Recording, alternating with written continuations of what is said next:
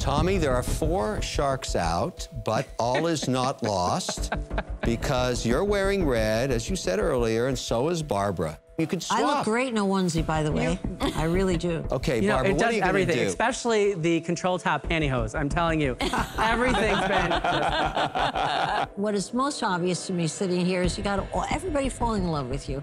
You wear your heart on your sleeve. You're so charming. And that's why I'm sitting here and I'm interested because I really want to see you do well. You lead with your heart and you make the world a better place. You're one of those kind of guys, and we don't have enough of them out there. You mentioned working with a cancer support group. Why is that important to you? So in, in 2013, um, I just had a bit of a rough patch. So I was diagnosed with uh, epithelioid sarcoma. It likes to start at the ends of your fingers, your toes. So it's actually my um, missing my left pinky finger.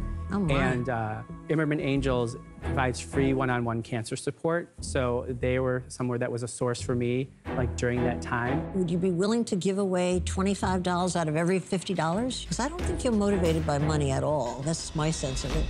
If it would help someone, absolutely. Yeah, you would. All right, well, I'm going to make you an offer. I'm going to give you the $125,000, but 50,000 in cash and $75,000 in loan.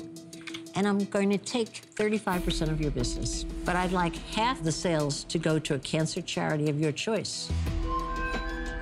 I think that's a good idea, Tommy, because they're going to promote you. What do you want to do? I love you, Barbara. Ah, I love Congratulations. All right. All right. Yeah. Right.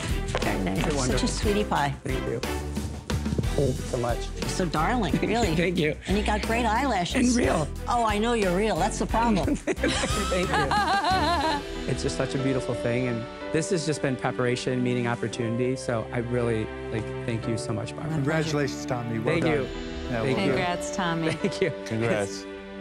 Slowly. See you, Tommy. Well done. Happy holidays.